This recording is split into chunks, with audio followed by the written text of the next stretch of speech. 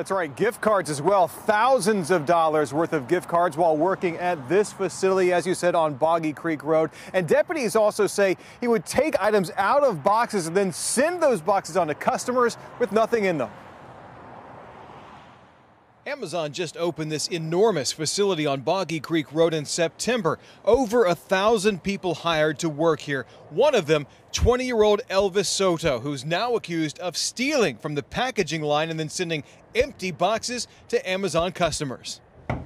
Elvis, you home? We went to Soto's home and no one answered the door, but we did see there was a package delivered on the porch. The Orange County Sheriff's Office says a loss prevention officer at the Lake Nona facility started investigating suspicious gift cards, including one worth $2,000, and it led him to Soto. Investigators say Soto admitted that starting last month he'd taken several gift cards and then used them to buy things for himself, including an Apple MacBook Pro, hookah pipes, and accessories for his car. Then he told them he'd also been taking actual items out of Amazon orders as well. Things like iPhone cases, screen protectors, and an Apple Watch band, plus a bottle opener and a foam toy pony. Then he sent the packages out to the Amazon customers with nothing in them.